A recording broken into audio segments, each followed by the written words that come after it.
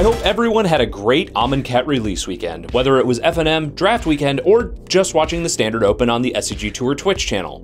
The top 8 from the Standard Open was dominated by Mardu Vehicles lists, which was not unexpected with only two days between the Felidar Guardian ban announcement and the start of the tournament on Saturday. Mardu Vehicles took up five of the top eight slots, including in the hands of Andrew Jessup, who went on to win his first Open. The other three slots were rounded out by White Red Humans, Black Green Delirium, and Mono Black Aggro. However, looking further down the results shows some promise for the new standard. In the top 16, there were 7 Mardu vehicle lists, 2 Temur Aetherworks, and another 7 individual lists.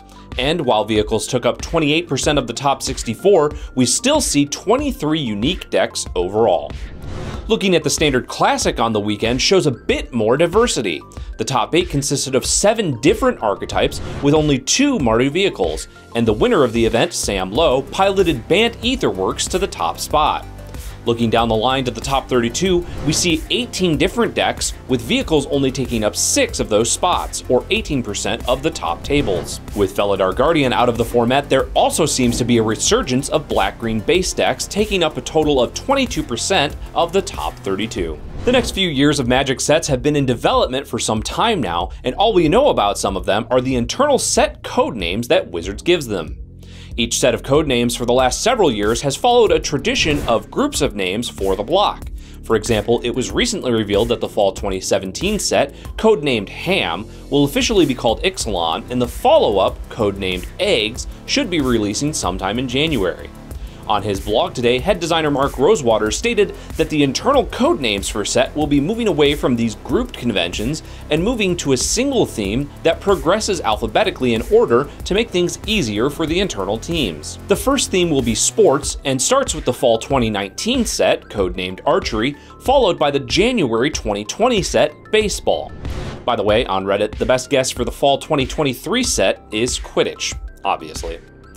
Over the weekend, the Magic Man Sam released a new video not focused on art. Sam's new video essay revolves around the card Pithing Needle, including its often mispronounced name. He gives the history behind the real-world practice of pithing, and then goes over some of the history of the card, including some of the confusing interactions that can happen with it. Also on the Tolarian Community College YouTube channel this last weekend, the professor and the Command Zone's Josh Lee Kwai return with the newest episode of their Magic Debate program, in response. The first topic was filmed before the emergency ban of Felidar Guardian and covers reasons why it should have been banned after last Monday's banned and restricted announcement. The professor is then joined by Nate Holt of Enter the Battlefield to discuss the increase in product releases. And Graham Stark of Loading Ready Run debates with the professor on Channel Fireball's exclusive contract to run Grand Prix events starting in 2018. That's our show for today, May 1st. Make sure to like and subscribe to our channel to keep up with all the latest Magic news and strategy. I'm Jeremy Noell, and this has been Split Second. However, looking further down the ugh, seven un, in, unidentified list.